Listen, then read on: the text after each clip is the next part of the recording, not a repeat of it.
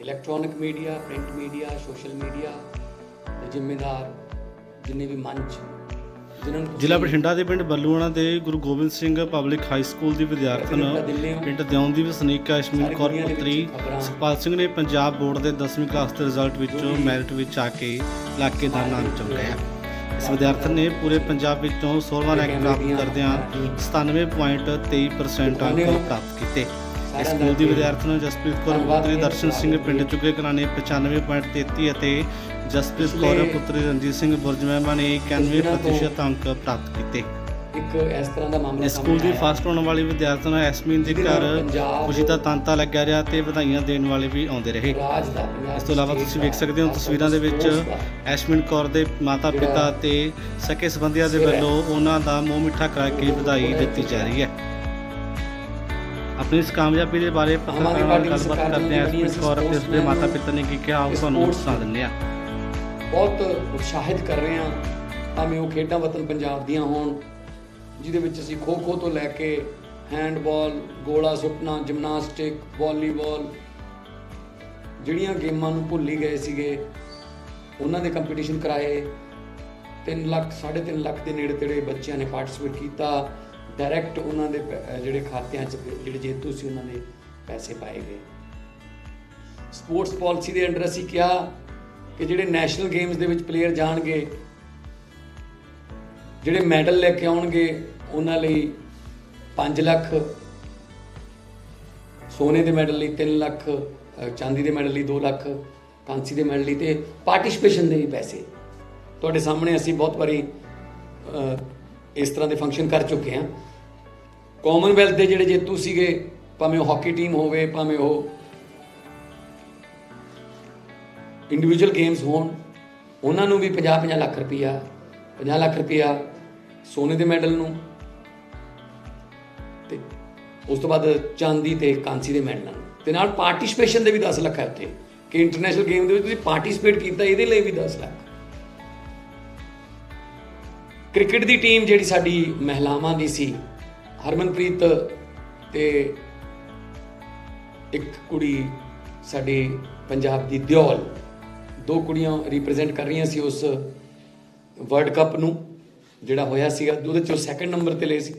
ਤਾਂ ਅਸੀਂ ਇੰਡੀਵਿਜੂਅਲੀ ਉਹਨਾਂ ਨੂੰ ਪੈਸੇ ਦਿੱਤੇ ਤੇ ਇੰਟਰਨੈਸ਼ਨਲੀ ਜਦੋਂ ਹਾਕੀ ਟੀਮ ਨੇ ਚਾਂਦੀ ਦਾ ਮੈਡਲ ਜਿੱਤਿਆ ਤਾਂ ਅਸੀਂ ਬਜਾਏ ਇਸ ਦੇ ਕਿ ਟੀਮ ਨੂੰ ਦਈਏ, ਜਿੰਨੇ ਪਲੇਅਰ ਪੰਜਾਬ ਦੇ ਸੀ, ਸਾਰਿਆਂ ਨੂੰ 40 40 ਲੱਖ ਰੁਪਏ ਦਿੱਤਾ ਸੀ। ਨਾ ਕਿ ਟੀਮ ਨੂੰ ਦਿੱਤਾ ਇੰਡੀਵਿਜੂਅਲੀ ਦਿੱਤਾ ਪੈਸੇ ਦਿੱਤੇ ਸੋ ਅਸੀਂ ਚਾਹੁੰਦੇ ਹਾਂ ਕਿ ਪੰਜਾਬ ਜਿਹੜਾ ਸਪੋਰਟਸ ਦੇ ਵਿੱਚ ਅੱਗੇ ਆਵੇ। ਆਉਣ ਵਾਲੇ ਦਿਨਾਂ 'ਚ ਬਹੁਤ ਸਾਰੇ ਸਟੇਡੀਅਮ, ਬਹੁਤ ਸਾਰੇ ਟਰੈਕਸ ਬਣ ਰਹੇ ਨੇ। ਪਰ ਪਿਛਲੇ ਦਿਨੀ ਧਰਮਸ਼ਾਲਾ ਦੇ ਵਿੱਚ ਇੱਕ ਪੰਜਾਬ ਦੀ ਆਈਪੀਐਲ ਟੀਮ ਦਾ ਇੱਕ ਮੈਚ ਸੀਗਾ। ਕੁਦਰਤੀ ਮੈਂ ਵੀ ਉਸ ਵੇਲੇ ਧਰਮਸ਼ਾਲਾ ਗਿਆ ਹੋਇਆ ਸੀਗਾ ਤੇ ਮੈਂ ਉਥੋਂ ਦੇ ਜਿਹੜੇ ਅਫੀਸ਼ੀਅਲਸ ਨੇ ਪੰਜਾਬ ਦੇ ਟੀਮ ਦੇ, ਉਹਨਾਂ ਨੇ ਮੈਨੂੰ ਕਿਹਾ ਕਿ ਮੈਚ ਦੇਖਣ ਲਈ ਆਓ। ਤਾਂ ਮੈਂ ਉਹ ਮੈਚ ਦੇਖਣ ਲਈ ਜਦੋਂ ਗਿਆ, ਤਾਂ ਮੈਨੂੰ ਉੱਥੇ ਇੱਕ ਪਲੇਅਰ ਮਿਲਿਆ। ਇਹ ਗੱਲ ਤੁਹਾਨੂੰ ਸਾਰਿਆਂ ਨੂੰ ਮੈਂ ਦੱਸ ਚੁੱਕਿਆ ਪਹਿਲਾਂ। ਕਿ ਉਹਨੇ ਕਿਹਾ ਕਿ ਮੈਂ ਅਫਸਰੀ ਦਾ ਟੈਸਟ ਦਿੱਤਾ ਸੀ ਯੂਪੀਐਸਸੀ ਦਾ। ਹੈ ਪਬਲਿਕ ਪਬਲਿਕ ਸਰਵਿਸ ਕਮਿਸ਼ਨ ਦਾ ਪੀਪੀਐਸਸੀ ਦਾ ਪਰ ਮੈਨੂੰ ਸਾਰੇ ਪਾਸਿਓਂ ਬਿਲਕੁਲ ਮੈਂ ਠੀਕ ਸੀ। ਮੈਂ ਉਹਦਾ ਪਲੇਅਰ ਦਾ ਨਾਮ ਦੱਸ ਦੇਣਾ ਚਾਹੁੰਦਾ। ਜਸਿੰਦਰ ਸਿੰਘ। ਜਸਇੰਦਰ ਸਿੰਘ। ਇਹ ਕਿੰਗਸ 11 ਪੰਜਾਬ ਦੇ ਵਿੱਚ ਇਹ ਇਹਦੀ ਸ਼ਮੂਲੀਅਤ ਹੈ। ਹਾਲਾਂਕਿ ਪਲੇਇੰਗ 11 ਚ ਮੌਕਾ ਨਹੀਂ ਮਿਲਿਆ। ਪਰ ਪਲੇਅਰ ਜਿਹੜੇ ਨੇ, ਜਿਹੜੇ ਬੈਂਚ ਸਟ੍ਰੈਂਥ ਹੁੰਦੀ ਹੈ, ਉਹਦੇ ਵਿੱਚ ਹੈ। ਸੋ ਹੌਲੀ ਹੌਲੀ ਪਲੇਇੰਗ 11 ਦੇ ਵਿੱਚ ਵੀ ਆ ਜਾਊਗਾ। ਜਸਿੰਦਰ ਇੱਕ ਡਾਇਰੈਕਟ ਨਹੀਂ ਚੁਣਿਆ ਗਿਆ। ਜਸਿੰਦਰ ਨੇ ਸਪੋਰਟਸ ਡਿਪਾਰਟਮੈਂਟ ਨੇ ਆਪ ਲਿਖਿਆ ਕਿ ਬਹੁਤ ਵਾਰੀ ਪੰਜਾਬ ਨੂੰ ਰਿਪਰੈਜ਼ੈਂਟ ਕੀਤਾ ਕ੍ਰਿਕਟ ਦੇ ਵਿੱਚ। ਉਹਦੇ ਚ ਵਿਜੇ ਮਰਚੈਂਟ ਟਰਾਫੀ ਹੈ। ਉਹਦੇ ਚ ਕੂਚ ਬਿਹਾਰ ਟਰਾਫੀ ਹੈ। Colonel C K Naidu trophy ਹੈ। ਮੈਨਸ ਅੰਡਰ 23 ਇੰਟਰਸਟੇਟ ਇਹ ਵਨਡੇ ਮੈਚਾਂ ਦੇ ਵਿੱਚ ਵੀ। ਤੇ ਇਸ ਤੋਂ ਇਲਾਵਾ ਇੰਟਰ ਸਟੇਟ ਸੀਨੀਅਰ ਟੂਰਨਾਮੈਂਟ ਚ Ranji trophy during cricket season 21 22 ਇਹ ਪ੍ਰਾਪਤੀਆਂ ਨੇ। ਪੰਜਾਬ ਕ੍ਰਿਕਟ ਐਸੋਸੀਏਸ਼ਨ ਵੱਲੋਂ ਪੂਰਾ ਡਾਟਾ ਇਹਦਾ ਹੈ ਕਿ ਇਹਨੇ 2010 ਤੇ 2011 ਚ ਅੰਡਰ 16 ਚ ਇਹਨੇ ਪੰਜਾਬ ਨੂੰ ਰਿਪਰੈਜ਼ੈਂਟ ਕੀਤਾ। ਕੂਚ ਬਿਹਾਰ ਦੇ ਵਿੱਚ 14 15 ਚ ਅੰਡਰ 19 ਚ ਕੀਤਾ। ਅੰਡਰ 23 ਚ ਕੀਤਾ।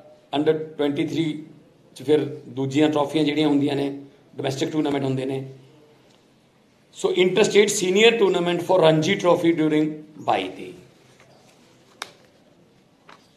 ਸਪੋਰਟਸ ਡਾਇਰੈਕਟਰੇਟ ਪੰਜਾਬ ਦਾ ਸਰਟੀਫਿਕੇਟ ਹੈ, ਜਿਹਦੇ ਚ ਜਸਿੰਦਰ ਨੂੰ ਜਿਹੜਾ ਕ੍ਰਿਕਟ ਦੇ ਵਿੱਚ ਗ੍ਰੇਡੇਸ਼ਨ ਬੀ ਗ੍ਰੇਡੇਸ਼ਨ ਦਿੱਤੀ ਹੋਈ ਹੈ ਪੰਜਾਬ ਸਟੇਟ ਨੇ। ਆ ਰੋਲ ਨੰਬਰ ਇਹਦਾ, ਜਿਸ ਵੇਲੇ ਐਗਜ਼ਾਮ ਦੇਣਾ ਸੀ। ਰੋਲ ਨੰਬਰ ਤੇ ਬਕਾਇਦਾ ਤੌਰ ਤੇ ਲਿਖਿਆ ਹੋਇਆ ਹੈ, Jasinder Singh Vaidwan father's name Manjinder Singh, category sports person Punjab, bracket ਦੇ ਵਿੱਚ 75 ਇਹ ਸਪੋਰਟਸ ਦਾ ਕੋਡ ਹੈ। ਇਹ ਉਹਦਾ ਰੋਲ ਨੰਬਰ ਦਾ ਆਈ ਕਾਰਡ ਹੈ, ਜਿਹਨੂੰ ਦਿਖਾ ਕੇ ਐਗਜ਼ਾਮ ਦਿੱਤਾ ਜਾਂਦਾ ਅੰਦਰ ਐਗਜ਼ਾਮੀਨੇਸ਼ਨ ਸੈਂਟਰ 'ਚ ਤੁਸੀਂ ਪਹੁੰਚਦੇ ਤਾਂ ਜਸਿੰਦਰ ਨੇ ਮਿਹਨਤ ਕੀਤੀ, ਪੜ੍ਹਾਈ ਦੇ ਵਿੱਚ ਵੀ ਬਹੁਤ ਵਧੀਆ ਹੈ। ਮਿਹਨਤ ਕੀਤੀ ਤਾਂ ਰਿਜ਼ਲਟ ਆਇਆ। 198.5 ਨੰਬਰ ਆਏ। ਤੇ ਜਿਹੜਾ ਸਪੋਰਟਸ ਪਰਸਨ ਪੰਜਾਬ ਦਾ ਕੈਟਾਗਰੀ ਕੋਡ 75 ਦਾ ਕੱਟ ਆਫ ਮਾਰਕਸ ਨੇ। ਘੱਟ ਤੋਂ ਘੱਟ 132.5 ਨੇ। ਫॉर ਫੀਮੇਲ ਇਸ 131.5 ਬਟ ਪੇਪਰ ਦਵਾਇਆ ਗਿਆ ਸਪੋਰਟਸ ਕੋਟੇ ਚ ਰਿਜ਼ਲਟ ਦੇ ਵਿੱਚ ਕੱਢਿਆ ਗਿਆ ਜਨਰਲ 71 ਜੇ ਸਪੋਰਟਸ ਦੇ ਵਿੱਚ ਇਸੇ ਰਿਜ਼ਲਟ ਨੂੰ ਕਾਊਂਟ ਕੀਤਾ ਜਾਵੇ, ਤਾਂ ਹੀ ਇਜ਼ ਅ ਟਾਪਰ ਇਹਨੇ 198.5 ਨੰਬਰ ਲਏ ਨੇ। ਪਰ ਜਨਰਲ ਦੇ ਵਿੱਚ ਕਿਉਂਕਿ ਕੱਟ ਆਫ ਜ਼ਿਆਦਾ ਹੈ, ਤਾਂ ਦਿਲ ਟੁੱਟ ਗਿਆ। ਦਿਲ ਟੁੱਟ ਗਿਆ ਤਾਂ ਮਿਨਿਸਟਰਾਂ ਕੋਲ ਜਾਣਾ ਸ਼ੁਰੂ ਹੋ ਗਿਆ। ਚੀਫ ਮਿਨਿਸਟਰ ਸਾਹਿਬ ਕੋਲ ਗਏ। ਉਸ ਵੇਲੇ ਦੇ ਕੈਪਟਨ ਅਮਰਿੰਦਰ ਸਿੰਘ ਜੀ।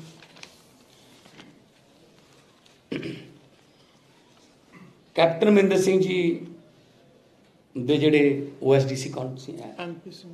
ਐਮਪੀ ਸਿੰਘ ਉਹਨਾਂ ਨੇ ਸਾਰਾ ਕੇਸ ਕੈਪਟਨ ਸਾਹਿਬ ਨੂੰ ਪੜ੍ਹ ਕੇ ਸੁਣਾਇਆ। ਮੈਂ ਤੁਹਾਨੂੰ ਵਰਡ ਬਾਈ ਵਰਡ ਸੁਣਾਉਂਗਾ ਸਾਰਾ ਕੁਝ ਮੈਂ ਝੂਠ ਨਹੀਂ ਬੋਲਦਾ। ਮੈਂ ਬਿਨਾਂ ਕਿਸੇ ਸਬੂਤ ਤੋਂ ਗੱਲ ਨਹੀਂ ਕਰਦਾ।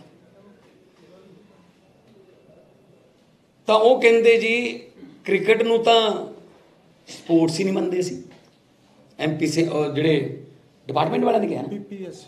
ਪੀਪੀਐਸਸੀ ਕਹਿੰਦੇ। ਪੀਪੀਐਸਸੀ ਕਹਿੰਦੀ ਕ੍ਰਿਕਟ ਨੂੰ ਸਪੋਰਟਸ ਨਹੀਂ ਮੰਨਦੇ ਸੀ ਤਾਂ ਕੈਪਟਨ ਸਾਹਿਬ ਕਹਿੰਦੇ ਵੀ ਮੇਰੇ ਤਾਂ ਗ੍ਰੈਂਡਫਾਦਰ ਕ੍ਰਿਕਟ ਖੇਡਦੇ ਰਹੇ ਨੇ। ਉਹ ਲੈ ਕੇ। ਉਹੀ ਤਾਂ ਕ੍ਰਿਕਟ ਨੂੰ ਲੈ ਕੇ ਆਏ ਨੇ ਇੱਥੇ। ਤੇ ਸਪੋਰਟਸ ਨੂੰ ਮੰਨਾਂਗੇ। ਤਾਂ ਉਹਨਾਂ ਨੇ ਕਿਹਾ ਵੀ ਤੁਹਾਡਾ ਕੰਮ ਬਣ ਸਕਦਾ ਹੈ। ਤਾਂ ਉਹਨਾਂ ਨੇ ਗ੍ਰਹਿ ਮੰਤਰਾਲੇ ਨੂੰ ਚਿੱਠੀ ਲਿਖੀ ਕਿ ਇਹ ਕੇਸ ਨੂੰ ਕੰਸੀਡਰ ਕੀਤਾ ਜਾਵੇ। ਥੋੜਾ ਦੱਸ ਦਿਓ ਜੀ ਇਸ ਤੋਂ ਬਾਅਦ। ਦੱਸ ਦਿਓ ਦੱਸ ਦਿਓ ਰਾਮ ਤੁਸੀਂ ਦੱਸੋ ਨਾ ਕੈਬਨਿਟ 'ਚ ਲਿਆਂਦਾ ਜਾਵੇ ਕੇਸ? ਕਿ ਉਹਨਾਂ ਨੇ ਕਿਹਾ ਕਿ ਅਗਲੀ ਕੈਬਨਿਟ ਦੇ ਵਿੱਚ ਇਹ ਕੇਸ ਲਿਆਵਾਂਗੇ। ਆ ਲੈਟਰ ਹੈ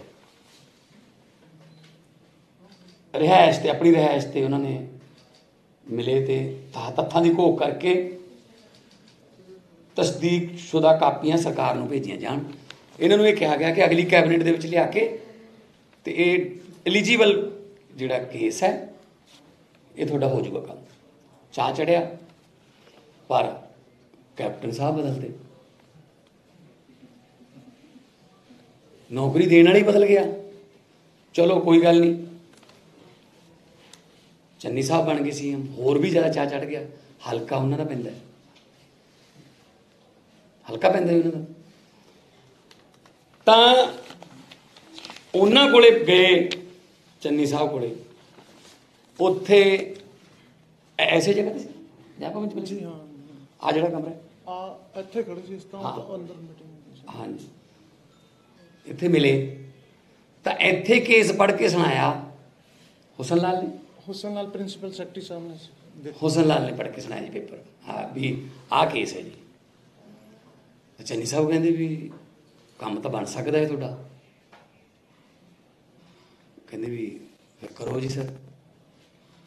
ਕਹਿੰਦੇ ਵੀ ਨੌਕਰੀ ਤਾਂ ਬਣਦੀ ਹੈ ਤਾਂ ਅਗਲੀ ਕੈਬਨਿਟ 'ਚ ਅਸੀਂ ਲੈ ਆਵਾਂਗੇ। ਇੱਥੋਂ ਮੋੜ ਆਉਂਦਾ ਇੱਕ ਵੱਡਾ। ਫਿਰ ਉਹਨਾਂ ਨੇ ਕੀ ਕਿਹਾ ਜੀ? ਉਹ ਕਹਿੰਦੇ ਵੀ ਦੱਸੋ ਜਸਿੰਦਰ। ਆਰਾਮ ਨਾਲ ਬੋਲਦੇ ਆਰਾਮ ਨਾਲ। ਉਹ ਕਹਿੰਦੇ ਵੀ ਲੀਜੀਬਲ ਹੈ। ਤੇ ਕਿਹਨੂੰ ਮਿਲੋ? ਇਧਰੋਂ। ਆਰਾਮ ਨਾਲ ਬੋਲ। ਮੈਨੂੰ ਕਿਹਾ ਗਿਆ ਵੀ ਆਪ ਮੇਰਾ ਨਾਮ ਲੈ। ਪਹਿਲਾਂ ਤਾਂ ਬੁਲਾਇਆ ਗਿਆ ਜੀ। ਇੱਕ ਮਿੰਟ ਬਾਜਵਾ ਸਾਹਿਬ ਪਲੀਜ਼ ਸੁਣ ਲਓ ਸਾਰਿਆਂ 'ਚ ਹੀ ਆਉਂਦਾ। ਮੇਰਾ ਨਾਮ ਲੈ ਕੇ ਬੋਲਿਆ ਗਿਆ ਅੰਦਰੋਂ ਵੀ ਇੱਥੇ ਖੜ ਕੇ ਕੌਣ ਆ? ਮੈਂ ਹੱਥ ਖੜਾ ਕੀਤਾ।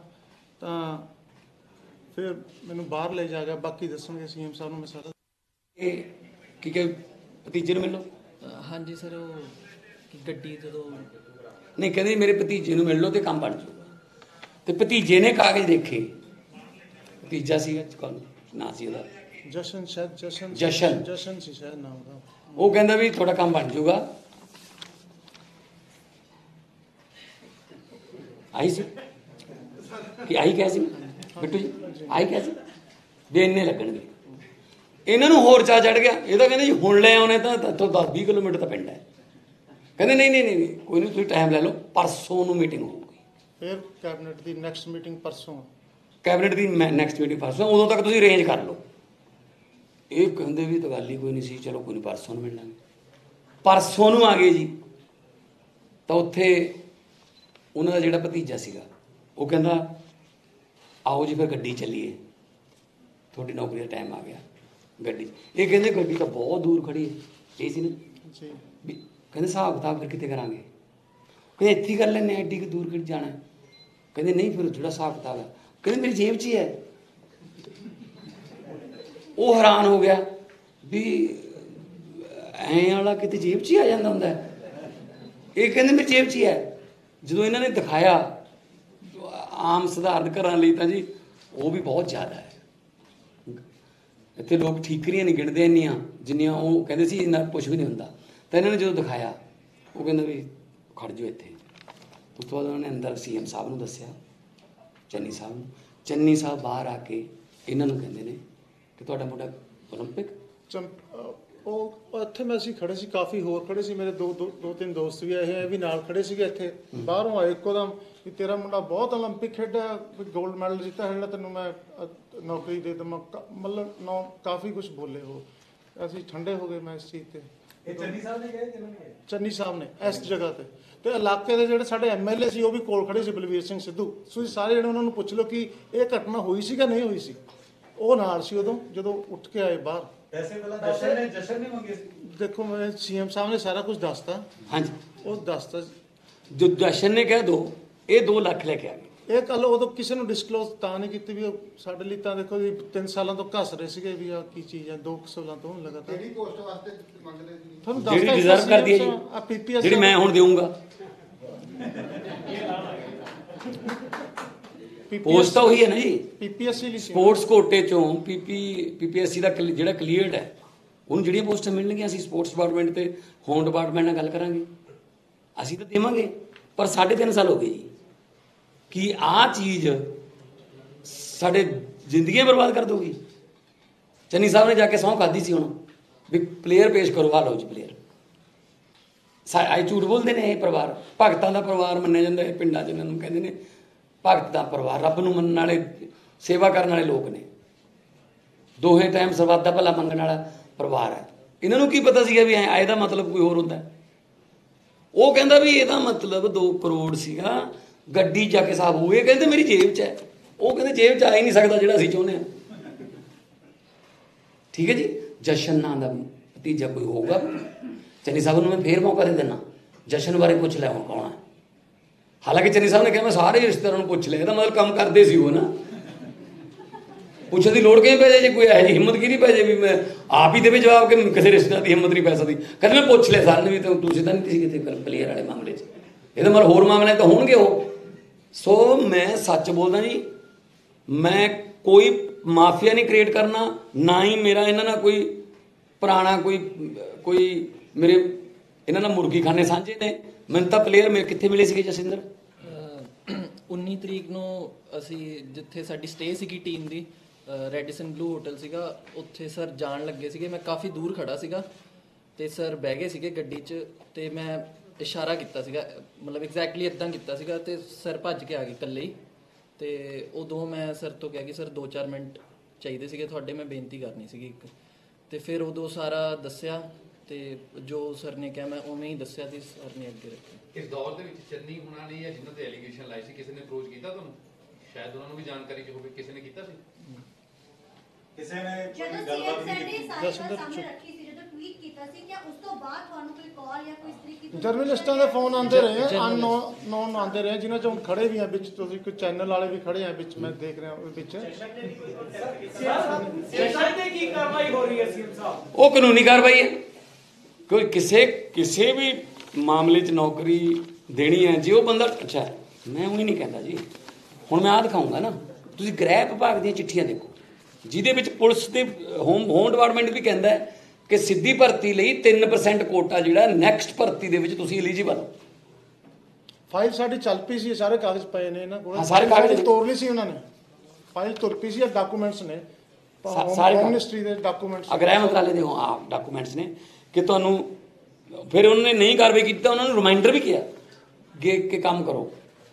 ਪਰ ਇੱਥੇ ਪੰਗਾ ਪੈ ਗਿਆ। ਸੀਐਮ ਸਾਹਿਬ ਇਹਦੇ ਸੀਐਮ ਸਾਹਿਬ ਸੀਐਮ ਸਾਹਿਬ ਕੀ ਰਿਟਨ ਦੇ ਵਿੱਚ ਇਹਨਾਂ ਨੇ ਕੰਪਲੇਂਟ ਕਰਤੀ ਹੈ ਰਿਟਨ ਚ ਕੰਪਲੇਂਟ ਕਰਤੀ ਔਰ ਕੀ ਹੁਣ ਦੇਖੋ। ਦੇ ਖਿਲਾਫ ਐਕਸ਼ਨ ਹੋਏਗਾ ਕਿਉਂਕਿ ਜੱਜੀ ਕਹਿ ਰਿਹਾ ਕਿ ਮੈਨੂੰ ਗ੍ਰਿਫਤਾਰ ਕਰਨਾ ਤਾਂ ਗ੍ਰਿਫਤਾਰ ਕਰ ਲਓ ਦੇਖੋ ਇਹ ਜਿਹੜੇ ਤੁਹਾਡੇ ਸਾਹਮਣੇ ਬੈਠੇ ਆ ਰਿਟਰਨ ਨਹੀਂ ਹੁੰਦਾ ਜਦੋਂ ਟੀਵੀ ਤੇ ਆ ਕੇ ਇਹਨਾਂ ਨੇ ਦੱਸਤਾ ਮੈਂ ਤੁਹਾਡੇ ਸਾਹਮਣੇ ਇੱਕ ਵਾਰੀ ਤਸਦੀਕ ਕਰਾ ਦਿੰਨਾ ਕਿ ਜੋ ਮੈਂ ਬੋਲਿਆ ਜਸਿੰਦਰ ਤੇ ਉਹਨਾਂ ਦੇ ਪਿਤਾ ਜੀ ਬੈਠੇ ਨੇ ਜੋ- ਮੈਂ ਬੋਲਿਆ ਤੁਸੀਂ ਉਹ ਚੋਂ ਉਹ 'ਚ ਕੋਈ ਅਮੈਂਡਮੈਂਟ ਜਾਂ ਕੋਈ ਜੋ ਗਲਤ ਗੱਲ ਕਹੀ ਹੈ ਜੋ ਸੀਐਮ ਸਾਹਿਬ ਨੇ ਬੋਲਿਆ ਇਨ ਬਿਨ ਸਾਡੀ ਆਵਾਜ਼ ਬੋਲੀ। ਹੁਣ ਕਾਰਵਾਈ ਹੋਏਗੀ ਉਹ ਤਾਂ ਜੀ ਉਹ ਤਾਂ ਜੀ ਸਾਡਾ ਕੰਮ ਹੈ ਨਾ ਹੁਣ।